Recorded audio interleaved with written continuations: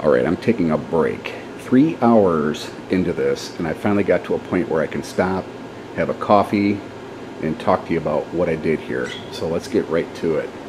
The whole goal of this is to put in 12 volt power port here using a speaker jack and also I decided to throw in a SAE battery tender junior over there. It's charging. Worked out good. Just unplug this, put in there, you're good to go, right? Just plug it back in. They've really improved these sockets by the way. This already had, already had the existing hole built, so that was pretty easy, right?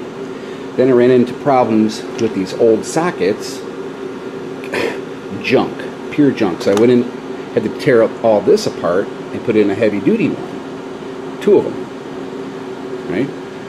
Then here's the real fun part. Let's look inside here. This whole thing was redone. I had to take all the existing paralleling over jumper Beeley whackers and I had this harness I got and I said well I'll just use that and that worked out really well then so this is actually a separate circuit it comes right off the battery and it distributes power here here here and then down to the SAE so it's a direct battery connection and then I just piggyback right up here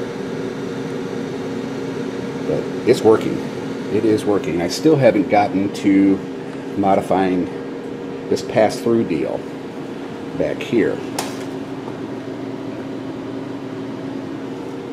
So there you have it. It's coming along. This is an ass kicker today. Oh my goodness. And I'll be taking this to show the kids tomorrow. Thanks for watching.